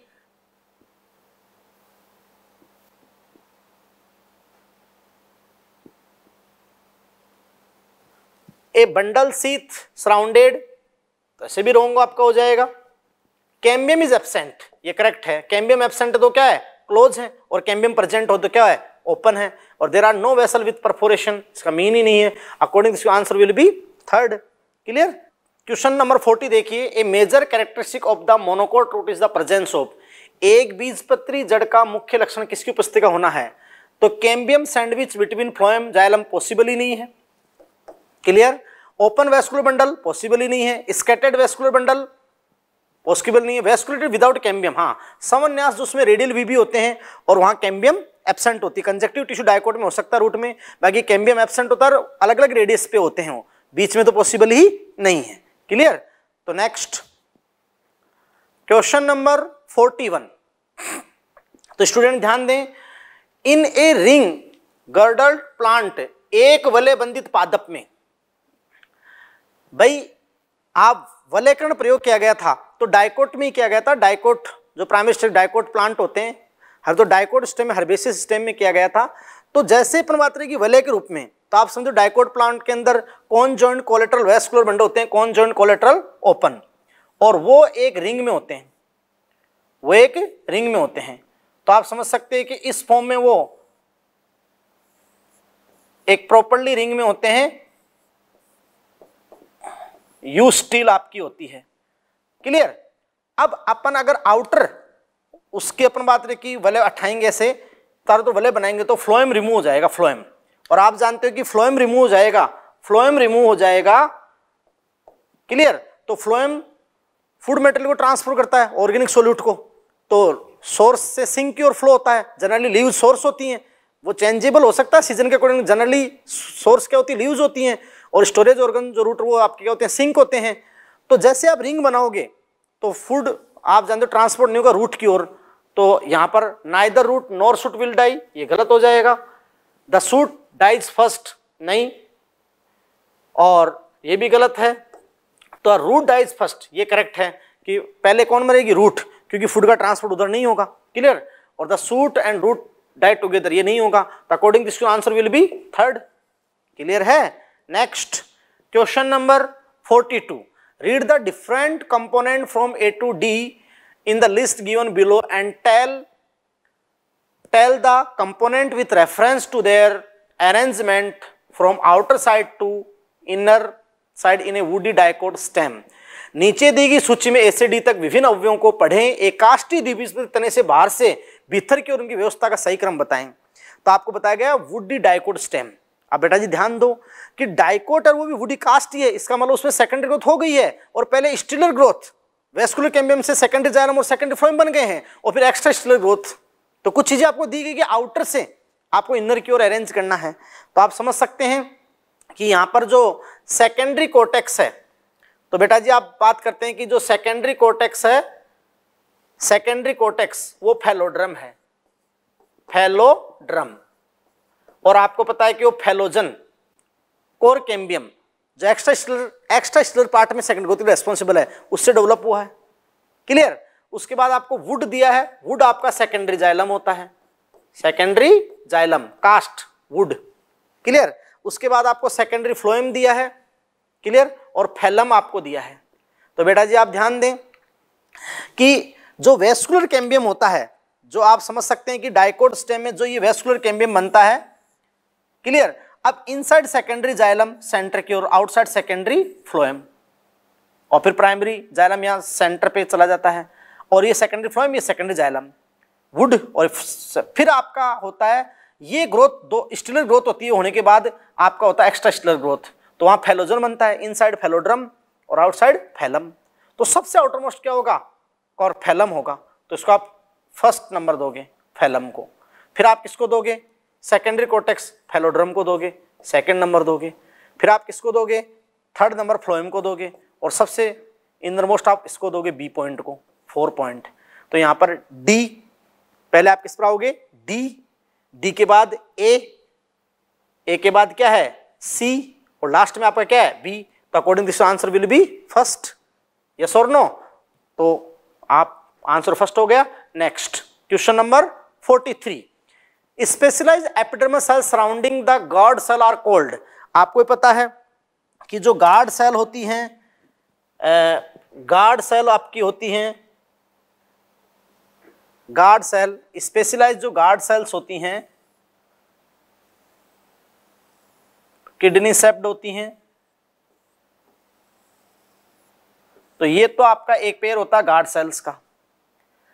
अब इनको जो सराउंडेड करती है यहाँ जो सराउंडेड करती है, ये सराउंडेड आपकी करती है, ये आपकी होती है स्पेशलाइज सब्सिडरी सेल्स तो सब्सिडरी सेल्स आपकी साइकोसिकाएँ आपकी होती है। Stomatal pore a pair of guard cell और सब्सिडायरी जो स्टोमेटल एपरेटस में आप अच्छे से देखते हो। क्लियर ये थिक वॉल होती है, ये थिन होती है रेडियल माइसिलेशन होता है, जो वो सारे स्ट्रक्चर आप देखते ही हैं। क्लियर तो according this question complementary cell नहीं होगा सब्सिडरी सेल्स सेकेंड आंसर हो जाएगा. क्लियर तो according this question answer will be second बाकी बुलिफॉर्म भी नहीं होगा और लेंटिकल भी नहीं होगा. क्लियर तो next question number forty four which of the following is made up of dead cells इनमें से कौन मर्द कोशिकाओं का बना होगा? तो आपको पता है कि सबसे पहले सिंपल प्रमाण टिश्यू थे पेरेन कायमा लिविंग है. कोलेन कायमा भी लिविंग है. लिविंग मैकेनिकल टिश्यू स्कलन कायमा डेड है. स्कलेड और स्कलन कायमा फाइबर यस उसके बाद जाइलम में xylem tracheid vessel, xylem fibre, ये डेड है, केवल जाइलम पेरेन कायमा लिविंग है। और फ्लोएम में तीन लिविंग है सी ट्यूब कंपेनियन सेल और phloem parenchyma phloem fibre dead है। क्लियर? और जो डायकोट में, एक्स्ट्रा स्टेलर में जो फैलम बनती कोर्क, वो डेड है। तो यहाँ क्या डेड है? कोलेन कायमा लिविंग है, फैलम, ये डेड है। फ्लोएम ऑलमोस्ट लिविंग है, जाइलम पेरेंकाइमा लिविंग है तो according this question answer will be second clear next question number 45 identify the wrong statement in context of heartwood अंतकास्ट के संदर्भ में गलत खतन को आप चुनिए। तो आप समझ सकते हो कि जब वेस्कुलर कैम्बियम से इनसाइड सेकेंडरी जाइलम और आउटसाइड ये वेस्कुलर कैम्बियम से आप समझ सकते हैं कि inside secondary xylem outside secondary phloem तो सेकेंडरी जाइलम जब फॉर्म होता है तो आप समझ सकते हैं कि जैसे मैं आपको बात करूँगी जो जाइलम फॉर्म होता है तो two x five two x four two x three two x two और टू एक्स वन यहाँ प्राइमरी जाइलम तो आप समझ सकते हैं कि एक लेयर कट ऑफ़ एक लेयर बनती है, फिर न्यू बनती है तो वो आगे खिसक जाती है? तो आप समझ सकते हैं सबसे ओल्डेस्ट सेकेंडरी जाइलम ये है और सबसे न्यू टू एक्स फाइव है। क्लियर अब आप जानते हैं कि सेंटर पे जब स्पेस फुलफिल हो जाता है तो यहाँ वेसल्स के बीच में जो पेरेनकाइमा सेल्स हैं, वो उनको ब्लॉक कर देती है। वेसल्स के बीच में जो पेरेनकाइमा सेल्स हैं, ये पेरेनकाइमा सेल्स ये इनको ब्लॉक करती हैं टाइलोसिस हो जाती है हार्ट वुड फॉर्म हो जाती है। फिर सैप वुड कॉन्स्टेंट हो जाती है और हार्ट वुड इंक्रीज होती जाती है। क्लियर अब ये कह रहा है कि भी उस हार्ट वुड जो डेड होती है नॉन फंक्शनल होती है वो कभी भी कंडक्शन में पार्ट नहीं करती, क्योंकि जैसे टाइलोसिस होती है तो टाइलोसिस होकर बहुत सारे मेटेरियल का रेजिन टेनिन बहुत सारे सबस्टांस का जमाव डिपोजिशन हो जाता है तो डेड हो जाता है पूरा, और वो गहरे रंग की हो जाती है। क्लियर नॉन फंक्शनल है रेजिस्टेंस है बैक्टीरिया के प्रति रह से क्लियर ड्यूरेबल है क्लियर तो इट इज़ हाईली ड्यूरेबल सही है? टिकाऊ ज़्यादा होती है क्योंकि माइक्रोब उस पर इजीली वर्क नहीं कर सकते हैं, उसको इजीली डेस्ट्रॉय नहीं कर सकते हैं डिकम्पोज नहीं कर सकते हैं। It conduct water and mineral efficiency गलत हो गया, क्योंकि वो सैप वुड कंडक्ट करती है। हर्ट वुड कभी कंडक्शन में पार्ट ही नहीं करती है। क्लियर क्यों डेड होती है कंप्लीटली और जो सैप वुड होती है, उसमें वाटर के अमाउंट और सैप वुड कंडक्शन में पार्ट करती है तो फंक्शनल है नॉन फंक्शनल है। ये रॉन्ग हो गया। It comprises dead element with highly lignified wall clear highly lignified होता है heartwood clear organic compound are deposit. बिल्कुल, बहुत सारे मैंने आपको बताया, टेनिन, रेजिन वो जमा हो जाते हैं। क्लियर तो मैंने आपको शॉर्ट में सारी बातें बता दी। तो अकॉर्डिंग दिस क्वेश्चन आपसे पूछा है कि आइडेंट रॉन्ग स्टेटमेंट गलत खतन को आपसे पूछा है तो गलत खतन आपका, आप यहाँ पर होगा सेकेंड या answer will be second clear बहुत इंपॉर्टेंट क्वेश्चन था। Next question number 46 the vascular cambium normally gives rise to कि संवहनी एदा क्या बनाता है? तो आपको मैंने बताया कि जो डाइकोड स्टेम होता है, उसमें दो प्रकार की ग्रोथ होती है। Stelar growth, stelar secondary growth stelars secondary growth, clear? और एक्स्ट्रा स्टीलर एक्स्ट्रा स्टीलर। पहले आप जानते हो कि स्टीलर होती है, फ़र्स्ट ऑफ़ ऑल देखो बेटा, प्राइमरी स्ट्रक्चर बनती है जब तक प्लांट वन ईयर का हो जाता है, उसके बाद सेकेंडरी ग्रोथ स्टार्ट होती है, पहले स्टीलर ग्रोथ होती है, टू थ्री ईयर की, फिर एक्स्ट्रा स्टीलर ग्रोथ स्टार्ट होती है। क्लियर? अब जो स्टीलर ग्रोथ होती है, उसके लिए कौन रेस्पॉन्सिबल है? वेस्कुलर कैम्बियम अभी मैंने आपको पहले बता दिया कि जब conjoint collateral open vascular bundle होते हैं, conjoint collateral open vascular bundle होते हैं, ये कौन जॉइंट कोलेट्रल ओपन क्योंकि फ्लोएम ये जाइलम और ये कैम्बियम और एक रिंग में अरेंज होते हैं रिंग में अरेंज होते हैं. तो first of all medullary range में डिफरेंस तो आप इंटरफेसुलर कैम्बियम बनते हो वेस्कुलर कैम्बियम बनता है. तो वेस्कुलर कैम्बियम बन जाता है तो वेस्कुलर कैम्बियम है ना, इनसाइड तो बनाता है सेकेंडरी जाइलम और आउटसाइड सेकेंडरी फ्लोएम तो first of all stelar secondary को रेस्पॉन्सिबल है वेस्कुलर कैम्बियम और वेस्कुलर कैम्बियम का जो मेन पार्ट होता है फ्यूजीफॉर्म तो वेस्कुलर कैम्बियम में भी दो पार्ट आपके होते हैं। मेन पार्ट उसका होता है वेस्कुलम थिक होता है सिंगल एड होता है और मेन पार्ट आपका होता है फ्यूजीफॉर्म जो इनसाइड सेकेंडरी जाइलम बनाता है और आउटसाइड सेकेंडरी फ्लोएम बनाता है। क्लियर और यहाँ आपकी होती है जो रे रे इनिशियल जो यहाँ पर होता है, वो सेकेंडरी मेडुलरी रेज फॉर्म करता है। तो अब यहाँ पर प्राइमरी फ्लोएम का मीन ही नहीं है। वेस्कुलर कैम्बियम तो सेकेंडरी मेरेस्मेटिक टिश्यू है एसएमटी है तो सेकेंडरी परमानेंट फॉर्म करेगा। ये तो पॉसिबल ही नहीं है। सेकेंडरी जाइलम ये हंड्रेड परसेंट करेक्ट है। पेरीड्रम परितवक और ये फेलोड्रम तो आप जानते हो तो एक्स्ट्रा ग्रोथ में फॉर्म होते हैं पेरीड्रम और फेलोड्रम तो। कोर कैम्बियम से फेलोड्रम और आउटर फैलम फिर फैलम फैलोजन, फैलोड्रम, पेरिड्रम और सेकेंड फ्लोइम बार्क छाल। क्लियर तो वो तो मतलब ही नहीं है। तो यहाँ पर answer will be second more correct hundred percent correct answer second secondary xylem clear तो आंसर इसका क्या होगा? सेकंड और आपको अच्छे समझ में आ गया होगा। और अच्छे से आप सेकेंडरी ग्रोथ को और अच्छे समझें। अभी थोड़ा बता देंगे उसके बारे में। Clear next question number forty seven stomata in grass leaf are घास की पत्ती में रंध्र कैसे होते हैं? तो रंध्र में जो गार्ड सेल कैसी होती है तो देखो आइसोबायलेटर लीव्स है और स्पेशली ग्रासेज मोनोकोट है और ग्रासेज आइसोबायलेटर लीफ है और ग्रासेज में जो स्टोमेटा होते हैं तो स्टोमेटा पोर लाइक स्ट्रक्चर, जो गार्ड सेल साउंडेड होती है तो जो गार्ड सेल होती है ग्रासेज में, वो डम्बल सेप्ड होती है। कैसी होती है? डम्बल सेप्ड। डम्बल सेप्ड होती है guard cell dumbbell shaped guard cell होती है और ये आपका स्टोमेटा एपरेचर होता है स्टोमेटा एपरेचर होता है और ये डम्बल सेप्ड होती है। जबकि डाइकोट में किडनी सेप्ड या बीन सीड सेप्ड होती है। गार्ड सेल किडनी सेप्ड या bean seed shaped bean seed shaped आपकी होती है गार्ड सेल्स यस और नो ऐसे रेडियल माइसोलेशन और जो भी, आप जानते हो ये थिक वॉल होती है, ये थिन वॉल होती है। क्लियर तो डम्बल सेप्ड ये सीबीएसई नाइन का भी क्वेश्चन है डम्बल सेप्ड तो stomata in grass leaf rectangular barrel shaped kidney shaped और डम्बल सेप्ड तो answer will be four clear है? Next question number forty eight casparian strip occur in केसरिन पट्टियाँ कहाँ होती है? तो केसरिन पट्टियाँ वलकुट में होती है एंडोड्रमिस में होती है पेरिसाइकिल में या एपिड्रमिस में। तो आप समझ सकते हो एंडोड्रमिस में होती है। क्योंकि एंडोड्रमिस में बैरल सेप सेल्स होती हैं बैरल सेप ये से बैरल सेप सेल्स होती हैं। और बैरल सेप सेल्स होती हैं तो इनकी जो रेडियल और इनर वॉल है रेडियल और इनर वॉल उस पर आप जानते हो कि सुबेरिन का, यहाँ रेडियल और इनर वॉल पे आप समझते कि ये डिपोजिशन होता है। तो इनको आप बोलते हो casparian strips casparian strip specially roots में आपकी होती है अच्छे से वेल डिफाइन आपकी कैस्पेरियन स्ट्रिप जो एंडोडर्मिस का पार्ट एंडोडर्मिस में है तो according this question answer will be second clear है? Next question number 49 plant having little और नो सेकेंडरी ग्रोथ आर वह पादप कौन से जिनमें द्वितीय वर्दी थोड़ी बिल्कुल ही नहीं होती है? भाई कोनीफर्स, शंकुधारी, जिम्नोस्पर्म में तो 100 परसेंट सेकेंड ग्रोथ होती है। साइकेड साइकेड भी जिम्नोस्पर्म में सेकेंड ग्रोथ होती है। डेसिडियोस एंजियोस्पर्म प्रणपाती इसमें भी आपकी होती है, लेकिन ग्रासेज मोनोकोट है, और आप जानते हो टेरेडोफाइटा और मोनोकोट में। टेरेडोफाइटा और मोनोकोट में सेकेंडरी ग्रोथ नहीं होती है।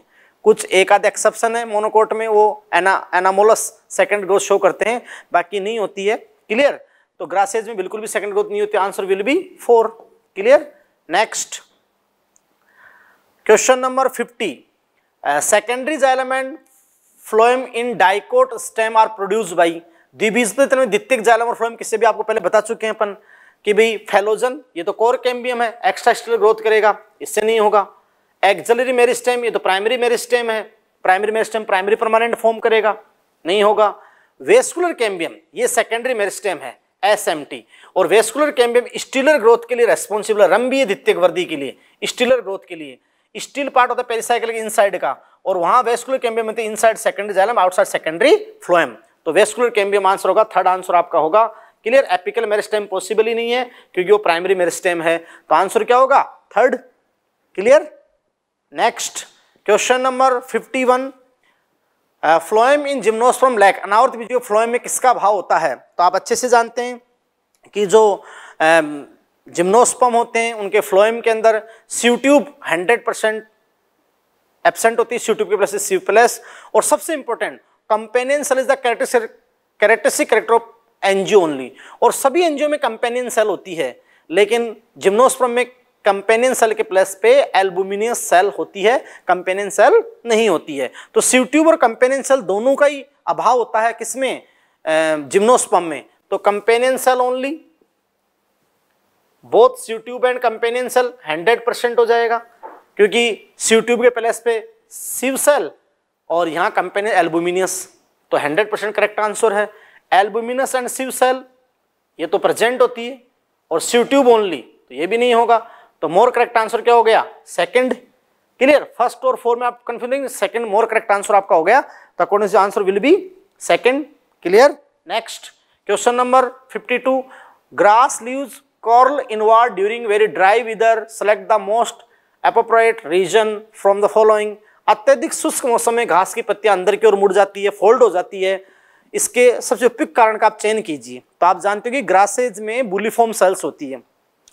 बुलीफॉर्म सेल्स जब वाटर एक्स्ट्रा होता है तो वो वाटर को एब्जॉर्ब कर लेती है और ट्रजिड हो जाती हैं। जब वो ट्रजिड हो जाती हैं तो फैलती हैं, ट्रजिड हो जाती हैं तो एक्सपेंशन शो करती हैं और लीफ खुल जाती है, अनफोल्ड हो जाती है। अच्छे से वो ट्रांसपरेशन शो करती है और जैसे वाटर की डिफिशेंसी होती है, कमी होती है तो वाटर का जैसे लॉस होता है, वो फ्लैसिड हो जाती है, सलत हो जाती है, और जैसे फ्लैसिड हो जाती है तो वो वापस रोलिंग हो जाती है। तो रोल रोल हो जाती है, और रोलिंग होकर सिकुड़ जाती है ट्रांसप्रेशन को कम करने के लिए, वरना अनरोलिंग हो जाती है। तो ये जो रोलिंग अनरोलिंग का काम है बुलीफॉर्म सेल्स करती हैं स्पॉन्जी सेल्स होती हैं क्लियर तो यहाँ पर आप समझ सकते हैं कि shrinkage of air space in spongy mesophyll mean ही नहीं है। टाइलोसिस वहाँ कोई मीन ही नहीं है। टाइलोसिस तो सेकेंडरी ग्रोथ है। क्लियर क्लोजर ऑफ़ स्टोमेटा ऐसा नहीं होता है। फ्लैसिडिटी ऑफ़ बुलिफॉर्म सेल्स हाँ फ्लैसिड ये आंसर विल बी फोर वो फ्लैसिड होते ही क्या होता है? रोलिंग होकर रोल होकर, सिकुड़ जाती है राउंडेड हो जाती है, और वो ट्रांसप्रेशन की रेट को लो कर देती है। क्लियर तो according this question answer will be four clear next आप समझ सकते हैं तो स्टूडेंट आप ध्यान दें 52 क्वेश्चन थे। एक क्वेश्चन जो हमारी पीपीटी में थोड़ा भूल से रह गया, जो नीट 2019 का ही था। और वो क्वेश्चन आपका जो है, वो है which of the which of the statement given below is not true about formation of annual ring in tree कि वर्क वृक्षों में वार्षिक वलय के बनने विषय में कौन सा कथन सही नहीं है? तो ये बात है कि वहाँ दिया गया एनुअल रिंग सबसे ज़्यादा क्लियर डिस्टिंग कहाँ दिखती है? टेम्परेट रीजन में। शीतोषण और जहाँ क्लाइमेट का फ्लक्चुएशन बहुत ज़्यादा हो, जलवायु का बहुत ज़्यादा परिवर्तन हो वहीं पे आपकी एनुअल रिंग सबसे क्लियरली दिखेगी। ट्रॉपिकल रेड फॉरेस्ट में बिल्कुल नहीं। डेजर्ट में उतनी क्लियर नहीं दिखती है। और ट्रॉपिकल डेसिड्यूस में थोड़ी बहुत टेम्परेट डेसिड्यूस में सबसे स्पष्ट दिखती शीतोषण प्रणपाती वनों में सबसे बेस्ट दिखती है। तो वहाँ स्टेटमेंट जो गलत था annual ring are not prominent in trees of temperate region कि टेम्परेट रीजन के पौधों में वो सुस्पष्ट नहीं होती गलत बात है, सुस्पष्ट होती है वहाँ पर तो। क्लियर तो क्वेश्चन आप देख लें। तो कैसा लगा स्टूडेंट अगर आपको बहुत अच्छे क्वेश्चन बहुत अच्छे सोल्यूशन आपको लगा हंड्रेड परसेंट हमने पूरी ट्राई की तो लगा भी होगा तो आप इसको लाइक करें शेयर करें, और उसके बाद आप इसकी जो पीडीएफ भी आपको प्रोवाइड करी जाएगी और सीएलसी इस महामारी के संकट काल में आपके साथ है, और आगे से आगे आप इन वीडियो को शेयर करें, और भी स्टूडेंट की हेल्प करें, हम आप कंटिन्यू आपको ये सोल्यूशन देते जाएँगे। Thank you very much